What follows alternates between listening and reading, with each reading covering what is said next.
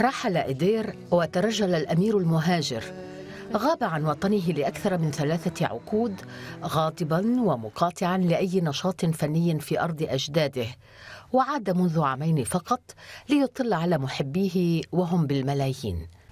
رحل حميد شريط المدعو فنيا إدير وبرحيله فقدت الجزائر والفن الجزائري هرما من أهراماته. على حد وصف الرئيس تبون في رسالة نعيه للراحل الرمز الذي وافته المنية في فرنسا فجزعت الجزائر عن بكرة أبيها حزنا على ابنها الذي أوصل الأغنية الجزائرية الأمازيغية إلى العالمية.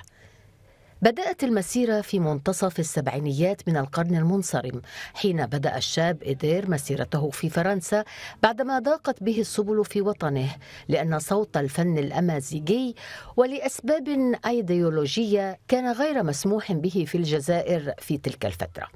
ومنذ بدايته أبان الراحل إدير عن موهبة استثنائية شعرا ولحنا وأداء وكانت رائعته الخالدة أفا فانيوفا التي تروي أسطورة الجدة وهي تحذر البنت الأمازيغية في جبال جرجرة من الذئب. كانت بداية الانتشار والشهرة وجاءت بعده ملحمة السندو التي ترجمت إلى لغات عديدة وظهرت في الموسيقى التصويرية لأفلام عالمية.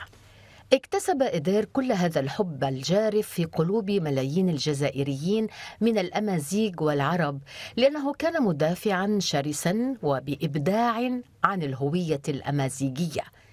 لكنه وإلى آخر يوم في حياته كان سقف انتقاده وغضبه تحت سماء وطنه الجزائر. وعلى غرار أسماء أدبية وفكرية حجزت للجزائر مكانة متميزة في الثقافة الإنسانية نجح إيدير في أن يكشف للجزائريين وللعالم أجمع ملمحا آخر من تراث الشعب الجزائري الأصيل.